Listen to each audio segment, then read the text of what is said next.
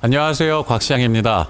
저는 이제 드라마에서 주양대군이라는 역할을 맡았고요. 어, 주양대군은 이제 숙명에 사로잡힌 어, 어, 캐릭터이며 또 한편으로 카리스마가 굉장히 좀 짙은 색깔의 어, 그런 캐릭터입니다.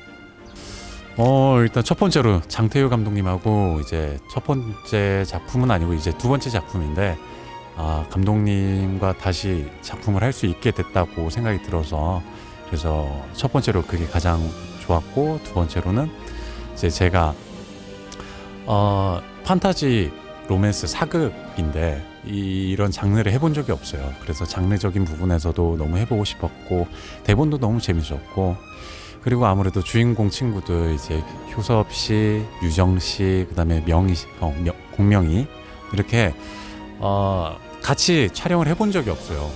그리고 너무 좋게 봐왔던 친구들이고 효섭이야 뭐 저랑 같이 살기도 했었고 했기 때문에 너무 잘 알지만 같이 호흡을 맞춰본 적이 없기 때문에 어, 꼭 한번 해보고 싶었습니다. 어 제가 이제 아무래도 주양대군 역할이 어 이제 뭐 효섭 씨, 그 다음에 뭐 유정 씨, 그 다음에 공명 씨 이렇게 네 뭐 요번에 이렇게 같이 또 촬영하게 됐을 때는 아무래도 이제 어 제가 나이가 제일 많다 보니 동생들이 좀 많이 편안하게 다가와주는 그런 모습들에 너무 감사하기도 합니다.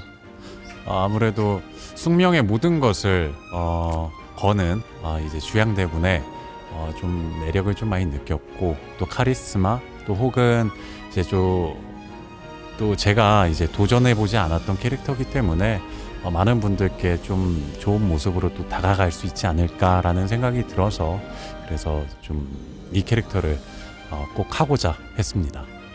다른 것보다 가장 중요한 걸 일단 좀 외형적인 걸 좀 많이 생각했어요. 어, 또 사극이고 그다음에 제가 여태 보여드리지 못했던 부분들 이런 뭐 수염이라든지 또 분장이라든지 또 이제 의상 같은 것도 좀 많이 신경을 좀 많이 쓰게 됐고요. 그다음에 캐릭터에 있어서 가장 이제 중심적으로 어, 생각을 해야 됐던 부분들 이런 것들을 좀 많이 고민하면서 구축해왔던 것 같아요. 뭐 처음에는 이제 좀 많이 부담이 됐어요. 왜냐면 극 중에서 이제 안타고니스 역할이 저밖에 없어서 그래서 좀 많이 부담도 됐지만 어, 그래도 한편으로는 되게 잘할 수 있겠다라는 자신감이 굉장히 많았기 때문에 어, 좋은 역할로 또 다가갈 수 있겠다라는 생각이 들어요. 많은 분들이 제가 악역이라고 생각할 수도 있겠지만 저는 제가 생각하는 주양대구는 숙명이에요. 아, 어쩔 수 없이 제가 꼭 해야만 하는 이런 부분들이 있었기 때문에 주양대군이라는 역할이 이제 캐릭터가 나오지 않았을까라는 생각이 들어요. 그래서 여러분들께서 어, 악역으로만 보지 마시고 또 한편으로는 다른 쪽으로도 한번 생각을 해주시면 어떨까라고 생각이 듭니다. 뭐 아무래도 주양대군의 매력 포인트는 이제 좀 강인함이 보이는 그런 모습들과 또 한편으로 카리스마 또 한편으로는 이제 굉장히 똑똑한 캐릭터예요. 그래서 여러분들께서 많이 좀 어, 이런 모습까지 상상하고 생각을 할 수 있었구나라고 많이 느끼실 것 같은데 여러분들 좀 지켜봐 주시면 좋을 것 같습니다.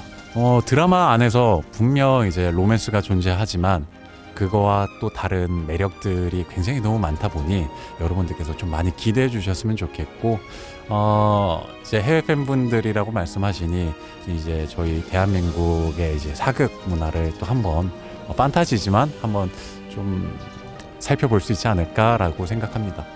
음 저희 드라마 굉장히 열심히 그리고 어, 심사숙고하면서 어, 촬영했으니까요 여러분들 많이 기대해 주셨으면 좋겠습니다.